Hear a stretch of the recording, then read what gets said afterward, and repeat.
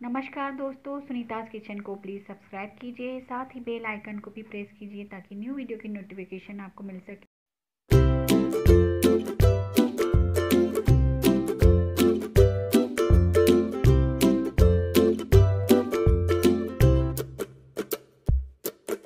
Hello मान्या baby आज हमारे साथ मान्या है सुनीताज किचन में। ये अपनी मामी के घर आई है और साथ ही अपनी बहुत ही प्यारी रेसिपी भी लेकर आई है।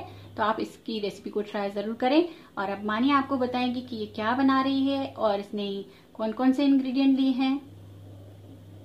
मानिया आप क्या बना रही हो आज?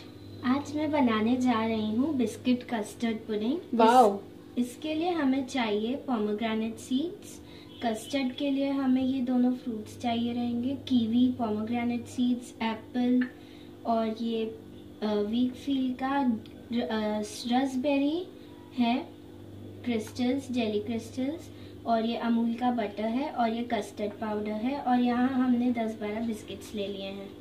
बहुत बढ़िया. चलिए हम बनाना शुरू करते हैं. दूध को हम बॉईल करने रखेंगे सबसे पहले. जब तक हमारा दूध बॉईल हो रहा है, तब तक हम कस्टर्ड पाउडर को पानी के साथ मिक्स कर लेंगे।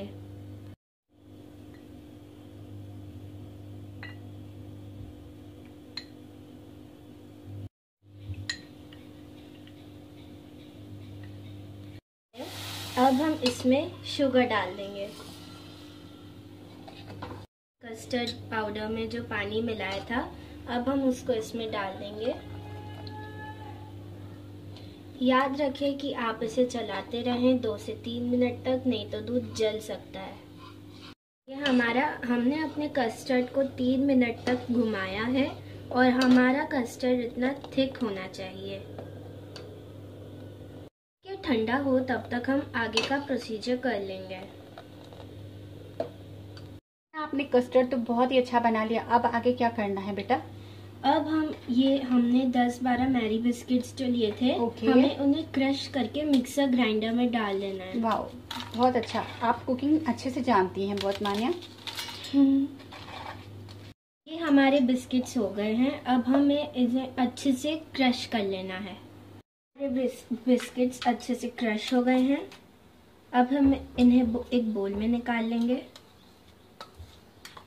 ये हमारे क्रश बिस्किट्स में हम मेल्टेड बटर डालेंगे और इसे अच्छे से मिला लेंगे।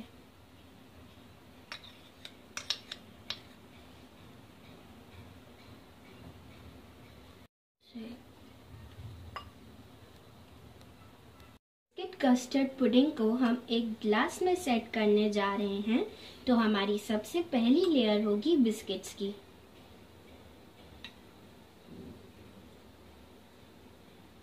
डाल लिया है और अब इसको हम अच्छे से प्रेस करेंगे। हमारा कस्टर्ड ठंडा हो चुका है। अब हमारे पास ये फ्रूट्स हैं, हम इनको डाल लेंगे।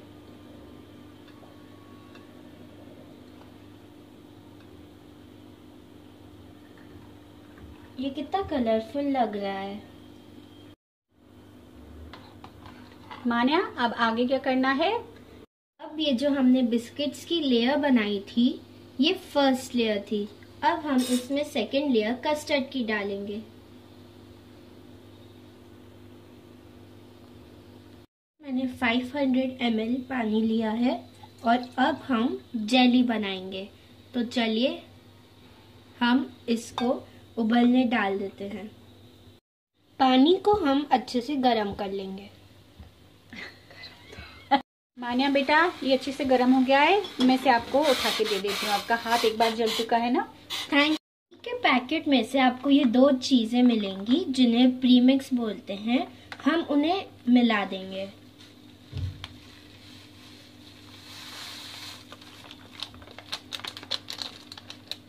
अब ये हम अच्छे से मिक्स कर लेंगे। इसका कलर तो बहुत अच्छा है। और ये रासबेरी रेड है। जेली को हम ये कस्टर्ड पे डालेंगे। ये हमारी थर्ड लेयर होगी।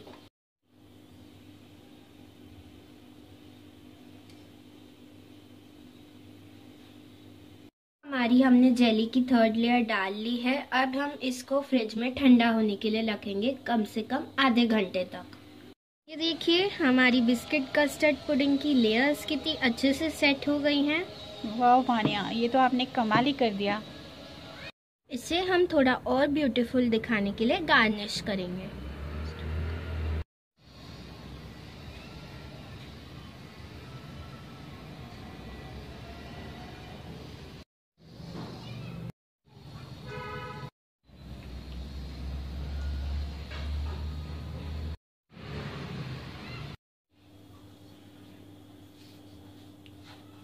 वाओ लुकिंग सो ब्यूटीफुल आप ये बिस्किट कस्टर्ड पुडिंग को एक बाउल में भी सेट कर सकते हैं। आपने जो डेजर्ट बनाया पहले आप ही टेस्ट करो बेटा। कैसा बनाया हमको बताया मैं खाऊँगा। मैं खाऊँगी। मैं खाऊँगा। तू मान्या लड़ाई नहीं बहुत सारे बनाए हमने। इतनी आसान यमी और टेस्टी रेसिपी जो आपके बच्चे भी बहुत आसानी से बना सकते हैं तो इसे आप ट्राई ज़रूर कीजिए और कमेंट करना ना भूलिए। यमी हाँ। हमारे चैनल को लाइक सब्सक्राइब और शेयर ज़रूर करना।